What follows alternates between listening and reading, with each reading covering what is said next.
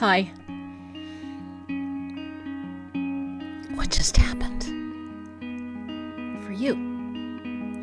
If you had to describe the last 18 months, what words or phrases would come to your mind? I made a list of my own words and I asked some friends and some other presenters for this meeting for theirs, and there were so many, and they carry so much emotional weight. These words represent the pandemic, of course, but also lots of other things politics, race, police brutality, gun violence, climate change. Most of all, our personal experiences from depression and fear and anger to a renewed sense of connection to our sourdough cultures, if nothing else. This has been a challenging time. Let's not mince words. It has been awful. I bet everyone here has lost someone dear to them in this year and a half, maybe from COVID, maybe from health problems that COVID made it hard to get treatment for, maybe from violence or isolation or other reasons. If you haven't been affected by the loss of life, other losses have hurt as well. Many of us in our community have been infected with COVID and survived, and that's great.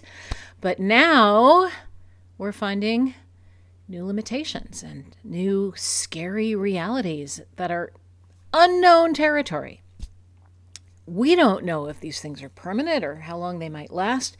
We don't have any specialists we can refer to. Long COVID is a quality of life threatening situation, and we don't know anything about it yet. And frankly, our healthcare system is not in a position to be very helpful. I know people who are dealing with debilitating fatigue, career threatening brain fog, intermittent peripheral neuropathy, symptoms of PTSD, and lots more. How do you run a school? How do you run a classroom? How do you run a continuing education business or a massage practice with these kinds of challenges? And there are other losses too. What else have you grieved for? This year. Lost chances to celebrate milestones, birthdays, graduations, lost opportunities to hug parents and children and grandchildren, lost opportunities to mourn in connection with others, lost communities, lost relationships. It's appropriate to take some moments to think and feel about these last 18 months. It is okay to not be okay for a bit.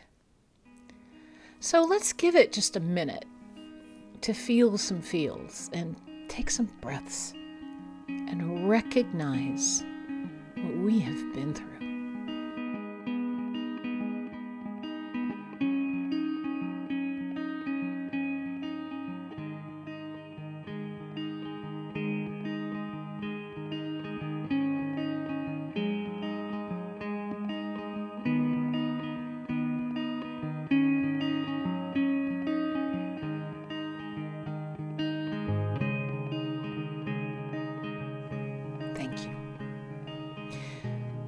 Am not, you will be happy to know, going to talk for an hour about what a nightmare this time has been, and it hasn't all been a nightmare. And if you watched, you saw some words in our mix that spoke of connection and recharging and hope. We're really good at that, aren't we? I've been working on this speech for a long time. I started making notes and writing things down and trying to organize my thoughts starting on the day I took on this commitment. I have worked on this speech from my desk, in the midst of doing webinars and writing articles and writing blogs and working on CE classes. And yeah, I didn't get very far. It's so much easier to put out the fires that are right in front of us than it is to get ahead of the deadlines that lie somewhere out there in the future, isn't it? I worked on this speech from my beach, just trying to record some stream of consciousness while I walk the dog and watch for seals and try not to step on jellyfish. And I still couldn't find the threads I was looking for. I filled pages of notebooks from my deck, enjoying some spring sunshine, trying to find the outline of my thoughts. I love a good outline. But how do you put an outline on what we have all just been through? And I wrote most of these words that I am sharing with you at this moment when I was in Puembo, which is a suburb of Quito in Ecuador, the day before I returned to the States after a two week vacation. My hotel has a big bird garden with reflective glass. So these eared doves and saffron finches and these blue gray tanagers, they couldn't see me.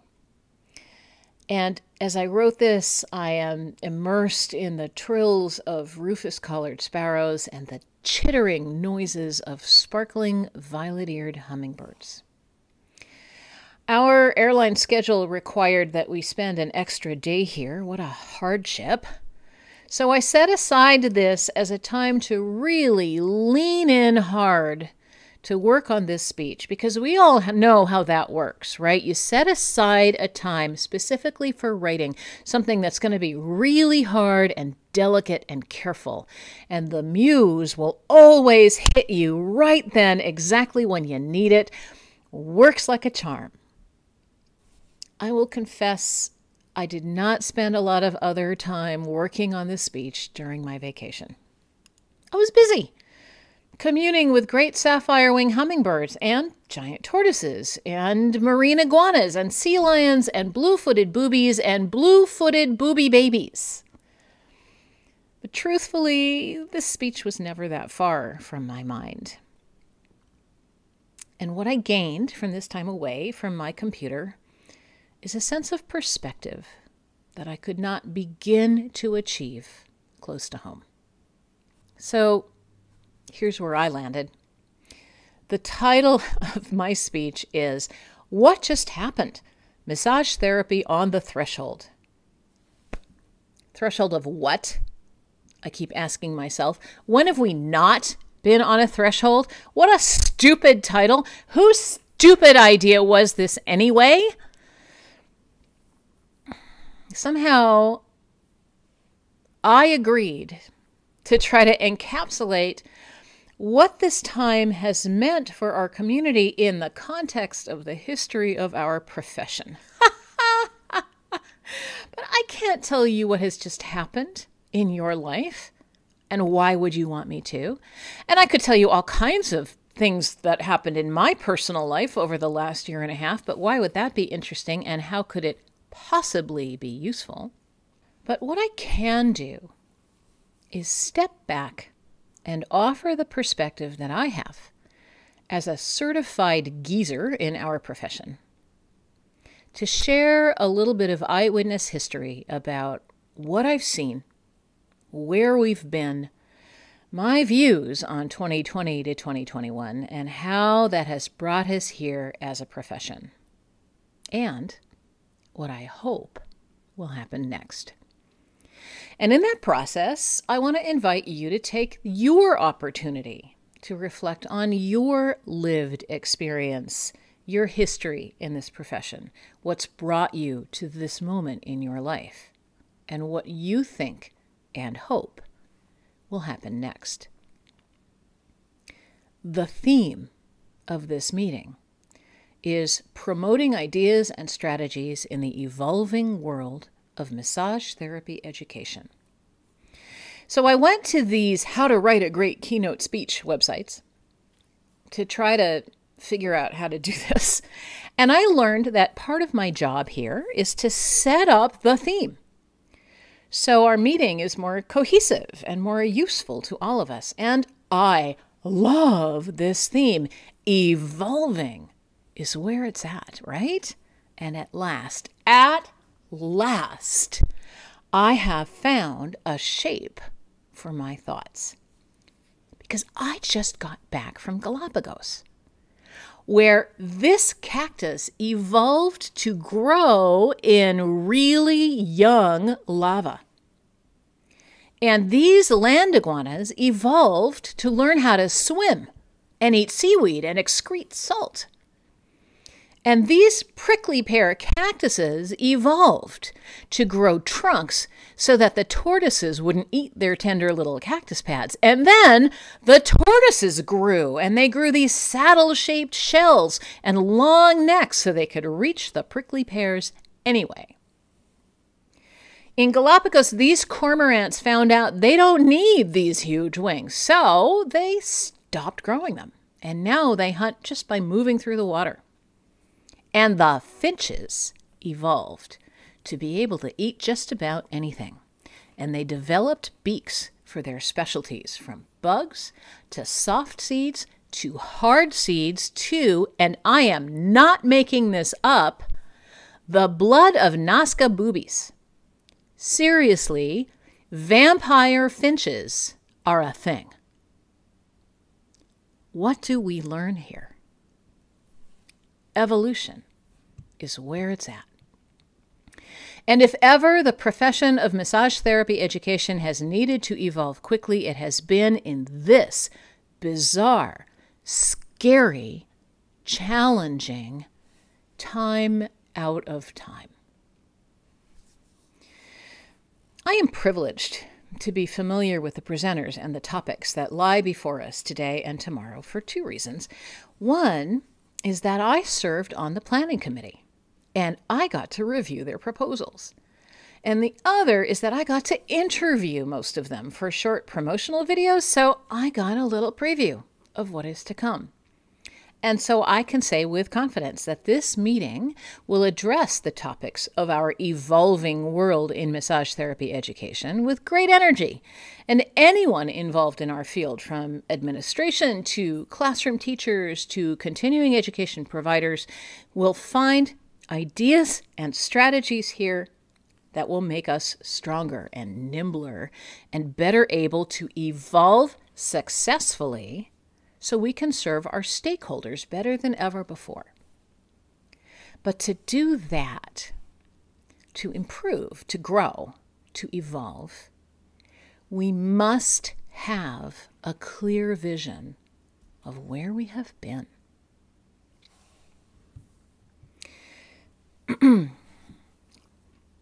As I work on this speech, we are in the middle of a big controversy right now about how to teach American history and whether including age appropriate but realistic descriptions of the experiences of people of color in the history of this country is proper.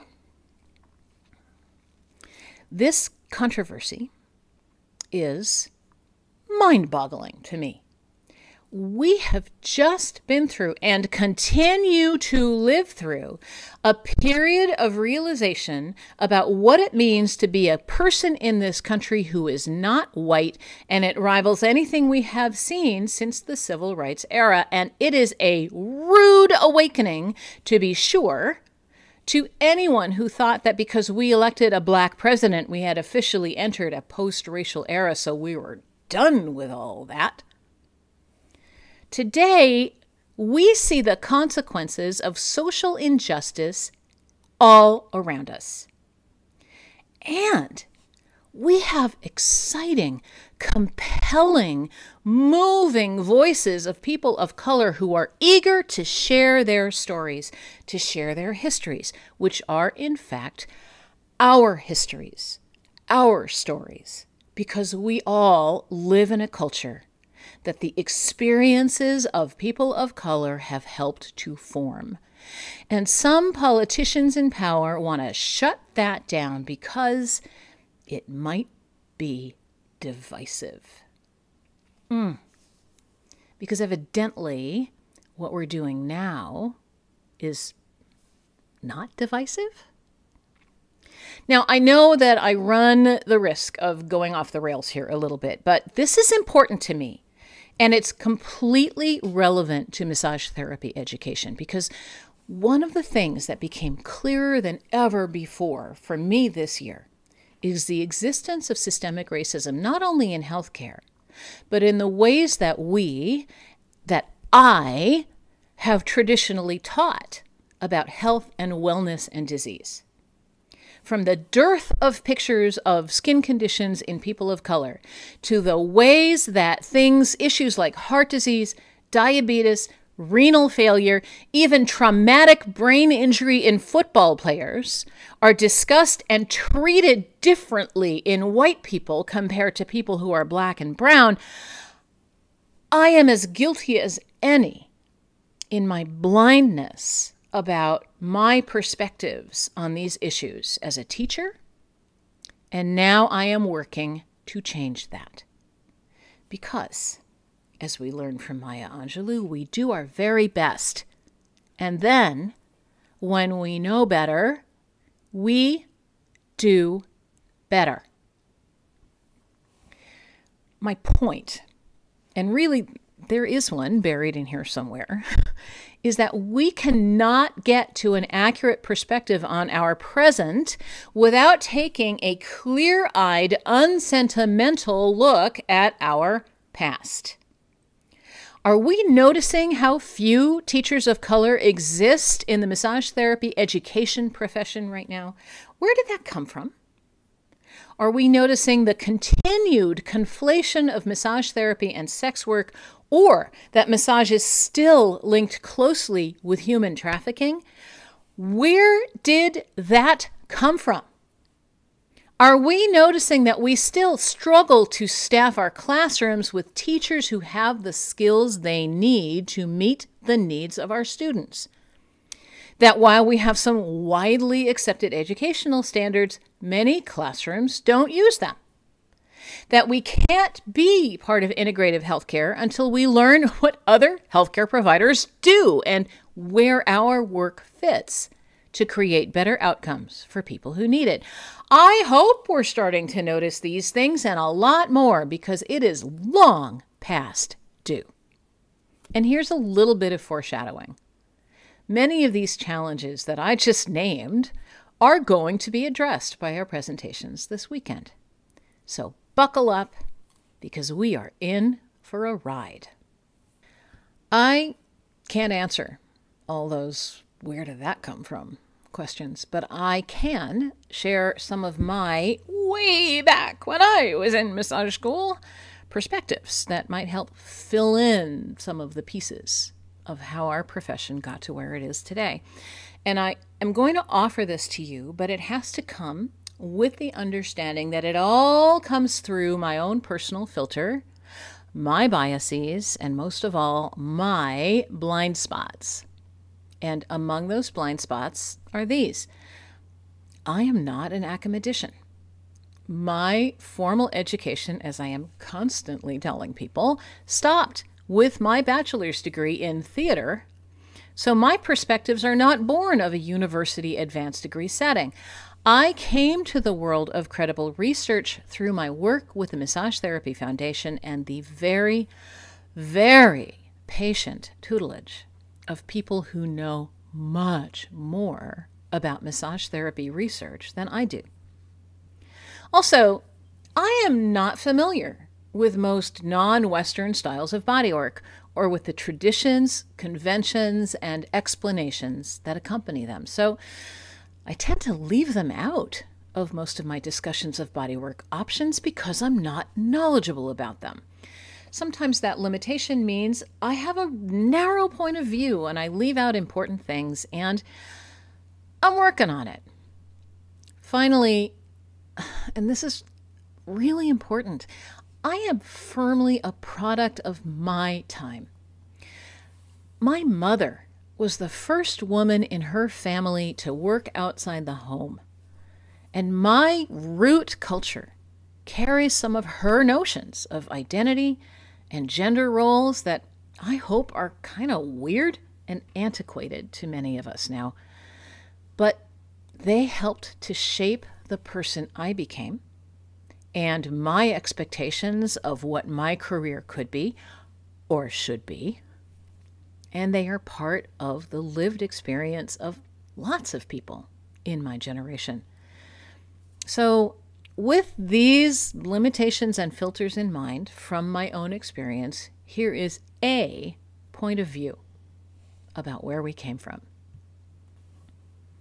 I started massage school in late 1984 because I didn't see a future in the theater community and I didn't want to be a public school teacher and I didn't want to work in restaurants and I really didn't want to work with computers.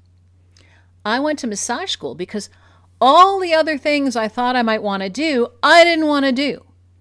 And that is probably not so different from the stories of many of the people who find their way into our classrooms. I enrolled and I got really excited about it. And I remember calling my mom and I enthusiastically told her, Guess what? I figured it out.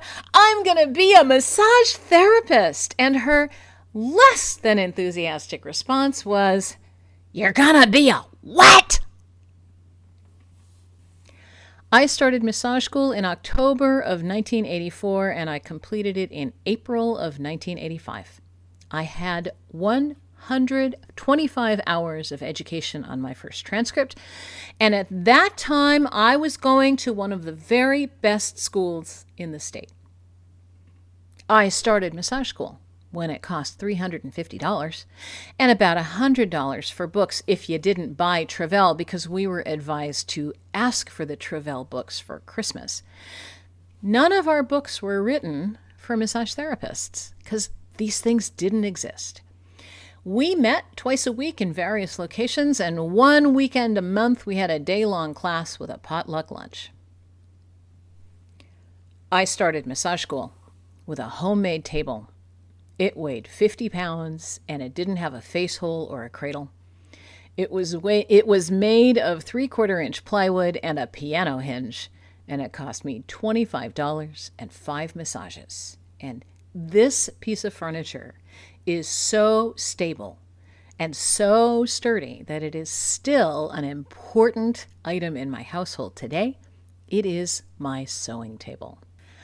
I started massage school in a state with no education requirements, although we did at least have a massage license and a pretty rigorous testing process.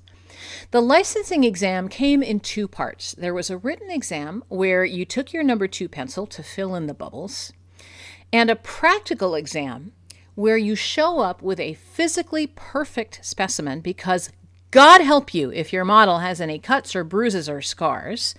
And you took them to, I am not making this up, a motel by the airport. And then two or three examiners would have you demonstrate two muscles their attachments, their shortened and lengthened positions, their resistive gymnastics. And then they would ask you to do Swedish massage on some random part of the body that they would choose the front of the leg, the back of the leg, the arm, the back, or, heaven forbid, the abdomen. And they would hover over you with their clipboards, completely expressionless, writing, writing, watching, watching.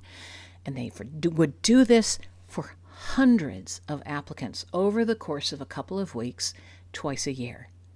And they'd have to sleep in those motel rooms. God bless those examiners because what a crappy job. I started massage school in a one teacher program, and our class was big, and some people joined late and they were having a hard time getting caught up. And so I was recruited to help tutor them. And in this way, I became a massage teacher before I even graduated from massage school. And I just sort of never stopped. As the school grew, I took on more teaching responsibilities, and I give a lot of credit to my boss, who was an excellent teacher and a great teacher trainer and a world class outliner. His model of incorporating anatomy and physiology and kinesiology and hands on practice has informed the way that I have worked ever since. So, thanks, Brian. I started massage school when our target market for consumers was basically healthy people who had a little extra money and who wanted massage to feel good and to stay healthy. So, I started my massage practice with almost no information about working with people who live with ongoing diseases or conditions or other kinds of health challenges. And because I thought I would be building my practice by working with my actor friends, and because actors have no money, I ended up working mostly with my friends' parents who did have a little disposable income. So for a few years, I did mostly home visits with clients who were probably younger than I am now, but they seemed old to me then. And they had diabetes and knee surgery. And in those days, it was open surgery. They would lay open that joint capsule like a book and poke around in there to pick out little bits of stray cartilage and then stitch it all back up again. And these people had hip replacements and they had osteoporosis and they had all kinds of other ailments. And I was unprepared to be helpful to them. And that prompted me to get more invested in learning about pathology. And ultimately, it led to my book and an amazing career. And that is not my story for today. In those days, the early 80s, most states were not regulated and or they didn't have any massage education requirement. In the city where i lived which was progressive if i had wanted to open a practice location when i graduated it would have had to be on the same block with the triple x movie theaters and the dirty bookstores because in that year in my part of the city that's how massage businesses were zoned it was only through the efforts of schools and volunteers working with the state board that we evolved, that we managed to create legislation that made it illegal to use the word massage in any kind of advertising unless the person had a state license. That helped with the zoning issues. Did it fix the problem? No, but it was a giant step in the right direction. In 1992, or it might have been 93, I took the pilot NCBTMB exam. Again, with the number two pencils, and we'll give you your results in six weeks. My colleagues and I, we were delighted to see this happen because we assumed it meant we were all on the road to both raising the standard for massage education and also moving towards some kind of national consistency in education and portability in licensing. And won't that be great? And that was um, 28 years ago. Soon after I was nationally certified in therapeutic massage and bodywork, we moved to another state an unlicensed state. And I was informed that I could open a practice there, but first I would have to prove that I didn't have a sexually transmitted infection. Venereal disease, they called it. I took a pass, and instead I took some time away from practice to become an at home mom for my two young children. And this was also the time when I was asked to write a document based on contraindications for the school that I had left. Now, this was before most people had the internet, so my resources were limited to the AMA Family Medical Guide and a handful of college level A&P and pathology books that were way too hard for me, and the public library. Well, that project eventually became a book proposal and that was my entry into the world of publishing in massage therapy education. And five years later, mine was the first massage specific book that Williams and Wilkins ever produced. And it joined the market with just a tiny handful of other professionally published massage therapy specific books. I opened my first box of books at the 1998 AMTA convention in Washington, D.C. Surprise! It turns out that massage therapists were starving for books written for them. The publishers were in heaven. Acquisitions editors scoured national meetings looking for anyone who had good ideas, who could write in complete sentences and hit a deadline. The late 90s and the early 2000s were halcyon days in massage therapy education if you weren't a proprietary school because big businesses and career schools and community colleges and lots of others noticed the increasing interest in this profession. And this led to a lot of, shall we call them, haphazard programs, along with some gems that have persisted and still set a wonderful standard in massage therapy education. Federal student loans made it possible for almost anyone to get into massage school. And that was great because it broke down some really hard financial barriers. And it was problematic because it created a situation where it became more expensive to go to massage school because you needed someone to run the financial aid aspect of it. It also created a situation where people who were not a great fit for massage school found themselves enrolled. So schools had to dedicate staff to manage financial aid at the expense of things like recruitment and student services and curriculum development and faculty. And economies of scale made it harder and harder and harder for small, individually owned proprietary schools to survive. And many of them didn't. But some did. And then the financial crisis of 2008 happened, and lots of people kind of stopped getting massages for a while. And we felt those reverberations through the entire industry, from the franchises to the clinics to the sole providers. And it got really hard. Eventually, many of the corporate and career schools closed, as much because of new scrutiny about student loan practices as because of low enrollment. Many of the community college programs decided not to offer massage therapy training anymore. But you know who hung on? A lot of those small sole proprietor programs that were able to stay open by virtue of being nimble and imaginative and resilient. And they evolved. And things finally stabilized. There had been a big bubble in massage therapy schools, and the bubble burst, and the remaining businesses finally began to stabilize. And so there we were in, say, 2015 to 2019, and it looked like things were finally beginning to turn the corner. Massage therapy was in a growth period in some settings, like hospitals and other healthcare facilities, and a ton of massage therapy research was being published, and the franchises and spas were growing, and some of them had begun to realize that raising wages and benefits was a good investment to keep their best therapists happy. And some single owner schools were really thriving and expanding to multiple campuses, and to my eyes, things were looking good. In early February of 2020, at an event in Seattle, I taught my public health issues class, which is called Herpes, Hep, and Flu. Oh my.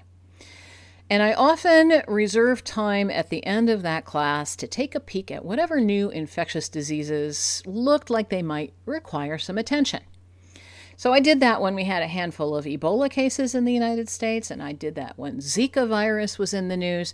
And for this meeting in February of 2020, I did make a few slides on what we knew about this brand new thing that was being called 2019 NCOV.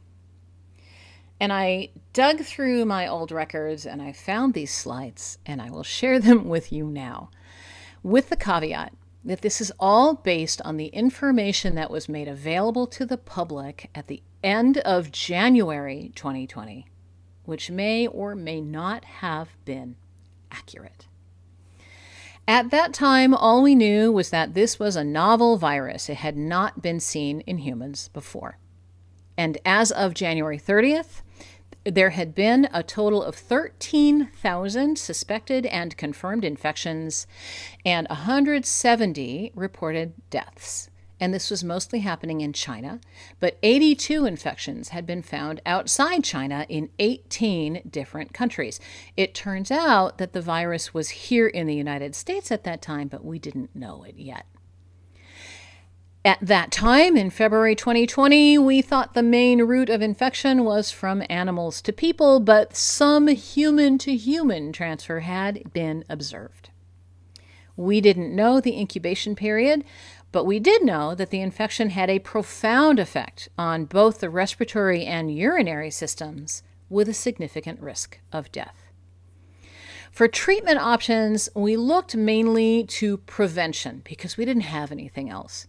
And prevention meant putting a high priority on wide accessibility of really accurate testing. And as we know, that did not work out well. We were also recommended to use an N95 respirator mask, but really only if we planned to travel to China.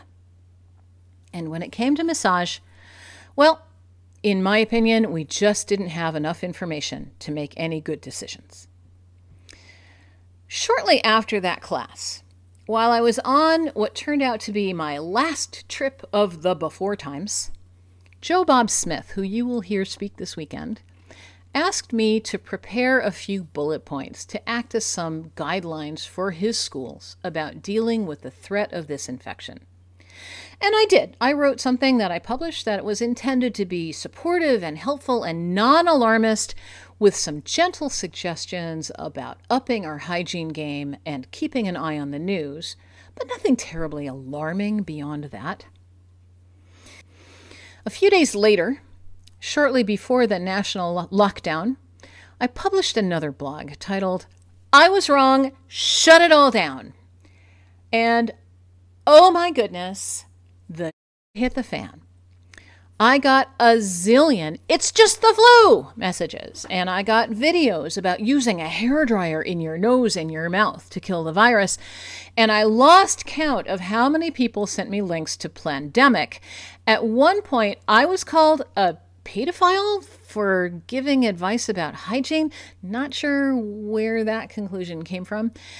And I made a very incendiary statement that while massage therapy is important, I did not consider us to be essential workers who should be competing for personal protective equipment with other providers who needed it. And I took a lot of heat for that at the time. But given the fact that we had hospital staff who were wearing garbage bags and reusing disposable masks because they couldn't access the equipment they needed to stay safe, I will stand by that point of view. At the same time, I got a lot of appreciation from people who were just looking for some guidance. Any guidance that seemed to make some sense. And that was great. And it definitely it helped me to be willing to stay in the game, but I said it then and I'll say it today. My advice is just that. It's just my little advice. It's not a rule. Any advice or recommendation that I ever make is as informed and as useful and as defensible as I know how to make it.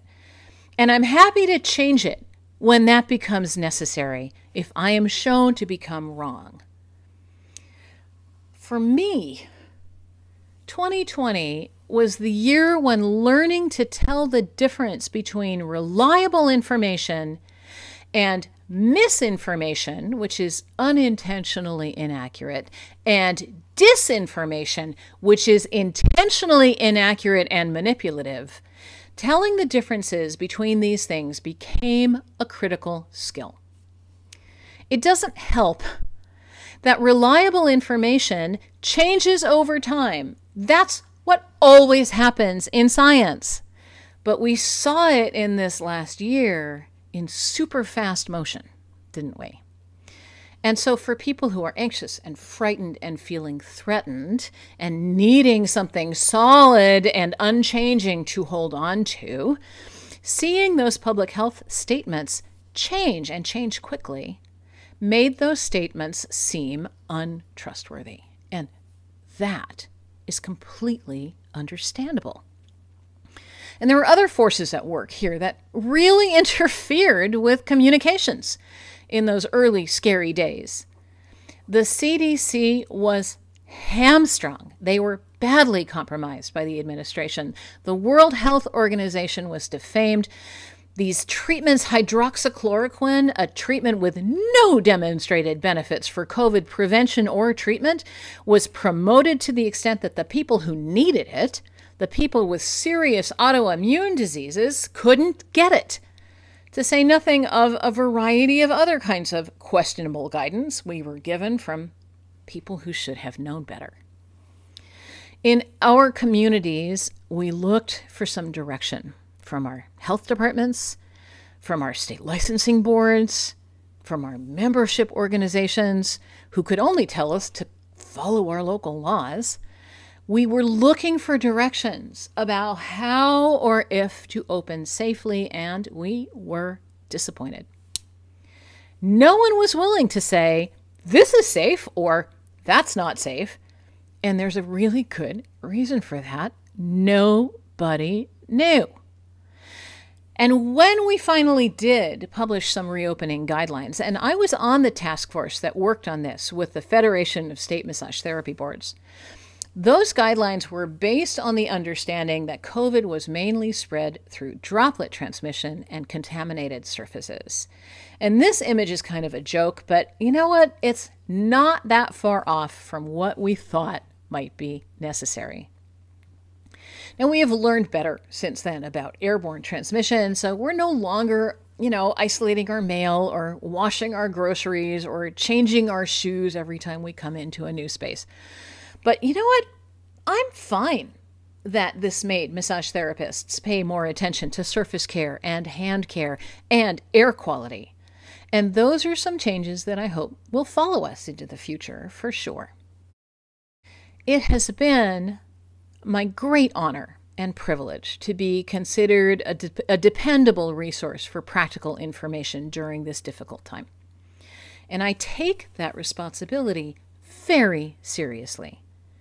And I receive a lot of appreciation for my work, for which I, in turn, am deeply appreciative.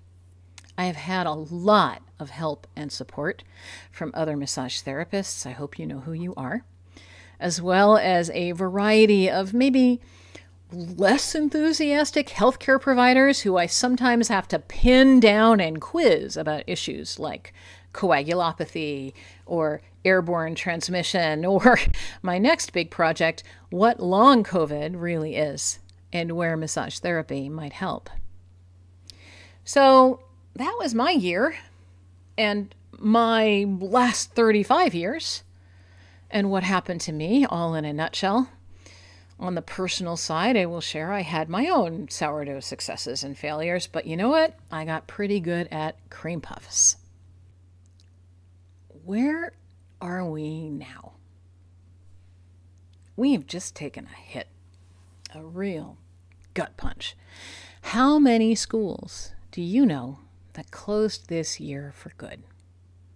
How many massage therapists closed up shop and decided never to reopen? How much institutional wisdom has been taken from us, along with the other casualties of COVID? According to the ABMP's recent survey of schools, in 2018, we graduated 23,887 students from 965 schools. In 2020, we graduated 20,598 students from 919 programs. 50 schools shut down in that interim period. That said, their data show some really interesting resilience in the massage therapy education field. We lost 50 programs between 2018 and 2020, but we lost 176 programs between 2014 and 2016.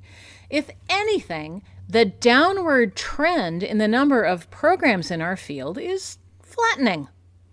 And this makes me wonder if we might even have seen a turnaround in this period if it hadn't been for the pandemic. With the closing of schools and the reduction in the number of students, our opportunities to follow our calling in massage therapy education have become scarcer. I am hopeful to see that number turn around too. I anticipate it may take a while. How much more important is it now to make sure that massage therapy teachers are highly educated and ready to take on the new challenges that lie before us? We have moved on, evolved, you might say, from the teaching model we lived in when I was in massage school, the sage on the stage. The guide on the side came next, especially in technique classes. That works well, but where are we now? We're at the classroom on Zoom with caffeine on the screen.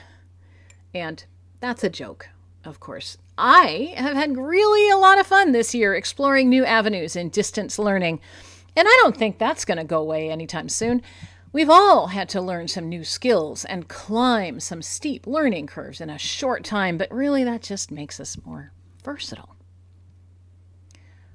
What comes next? What do you think comes next? What do you hope comes next? Because we know those two things are not the same. Let's just take a moment to reflect on that question.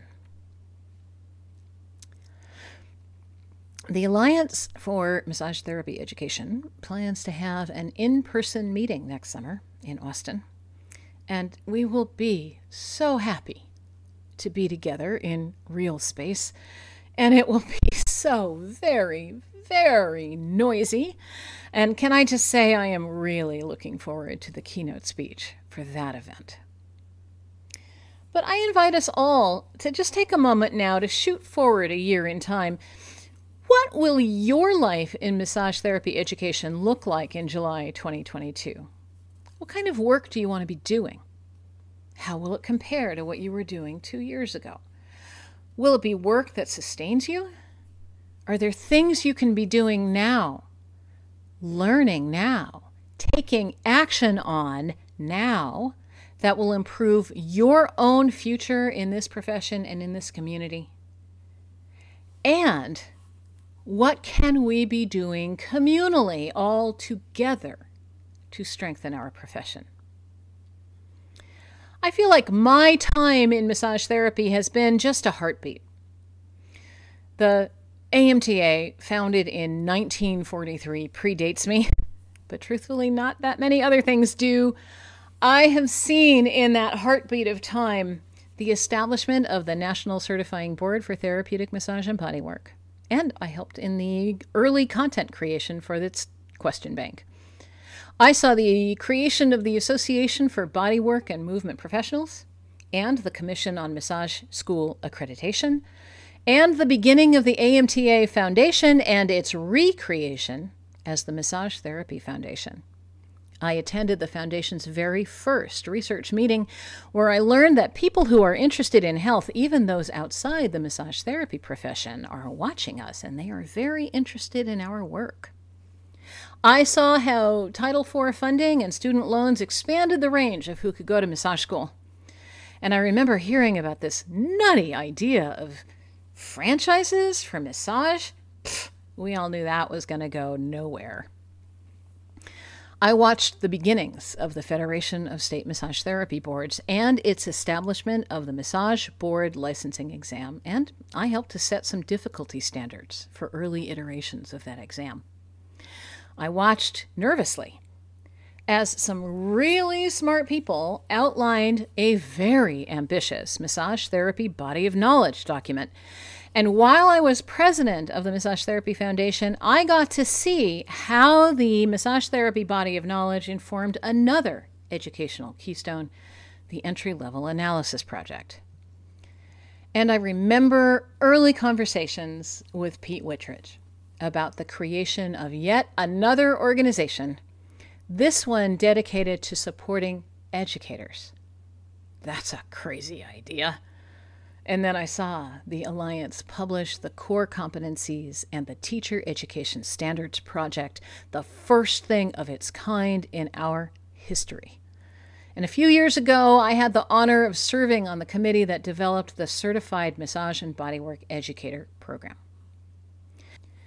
Over the years of their existence, every one of these organizations has evolved with the profession.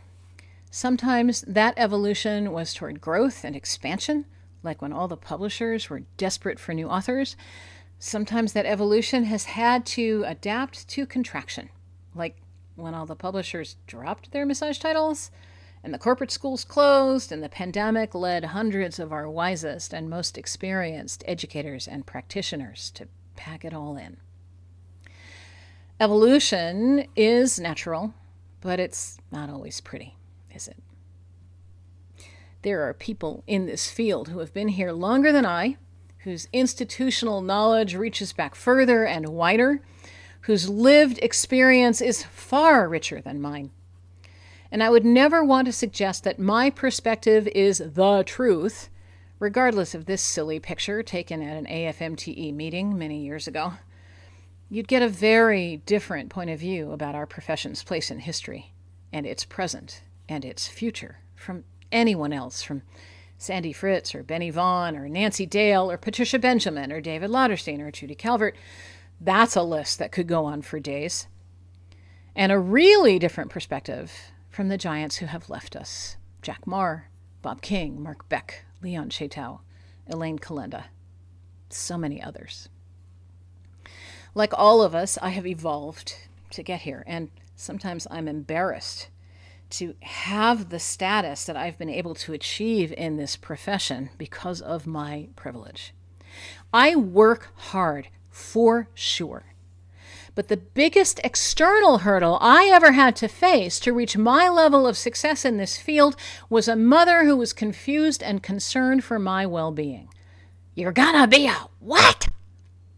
But from that moment forward, I got to be a white woman with an excellent education and a level of some kind of financial stability that made it possible for me to write a book and to volunteer on committees and to choose to do only work that makes me happy.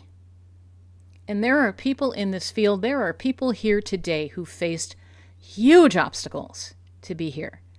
Obstacles based on gender and sex and race and ethnicity. You ask Benny Vaughn what it was like to be a black male massage therapist in the South in the 1970s.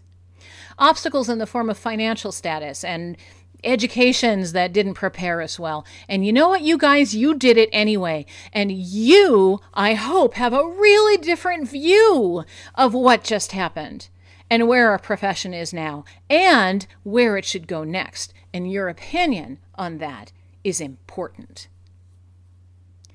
Whatever happens next, I want our profession to reflect our highest values of equity and quality not because it's nice, and not even just because it's moral, but because it's good for us. It's good for all of us. We are all made stronger and richer and more deeply rooted in our true history, and therefore more able to reach for our best future.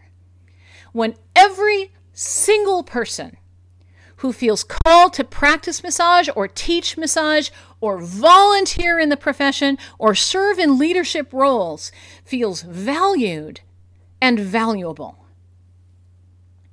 What just happened?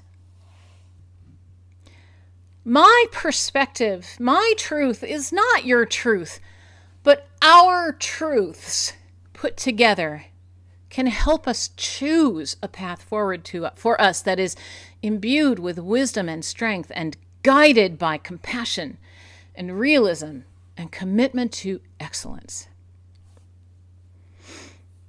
In this last 18 months, we've had a lot of changes forced on us. Some of those changes have been great, and I hope we can use the good ones as we move forward.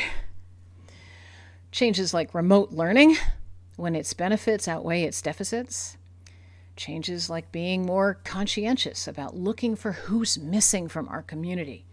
And then creating spaces that celebrate diversity, diversity of race, yes, diversity of age, diversity of gender, of body size, of neurodivergence, and all the other aspects of humanity that make us so wonderful.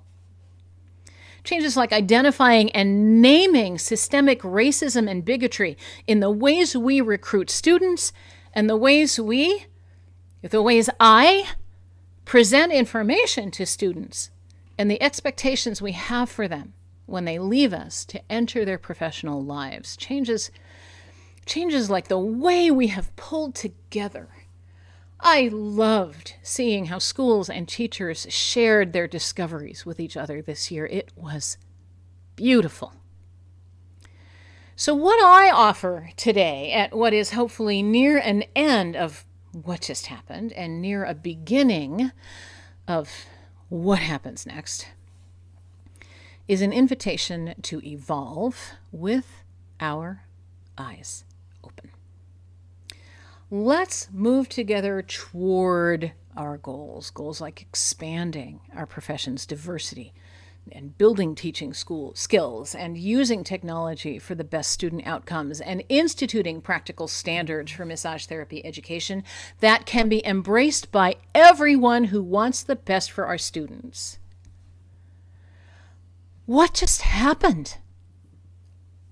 A tragedy. An uncovering. A chance to reset, to reboot. And if we think it's over, we're fooling ourselves. We're not done. We're not done with COVID. We're definitely not done with the possibility of new infectious diseases. We're not done with racism or social justice or voting rights or equity or inclusion. We're not done with the dangers of misinformation and disinformation in massage classrooms and elsewhere. Most of all, and this is the good news, we are not done with evolving. Massage therapy began the first time someone used touch to comfort another person, and then that skill was valued and sought after.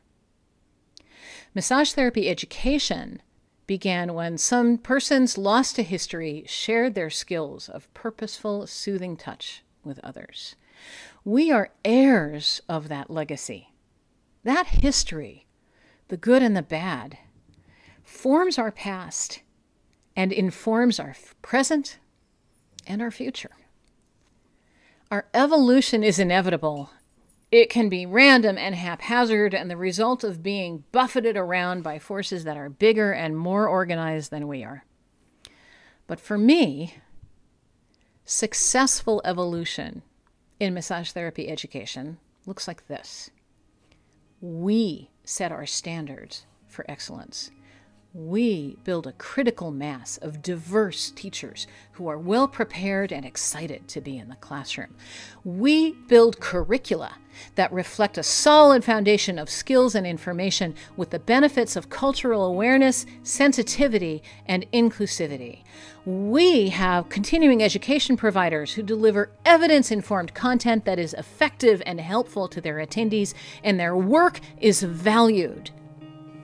And the net result will be a population of massage therapists who are confident and competent, who offer safe, effective, evidence informed massage that makes the world a better place. And that requires that we, who are at this threshold, look, I did it. At this threshold of what comes next that requires that we must be versatile and open minded and watchful and welcoming and resilient. Can we do that? Can we be that? Well, when we consider all the things we have been and done over the past 35 years, to me, the answer is clear. Yes. Yes, we can do that. Yes, yes, we can be that. Thank you.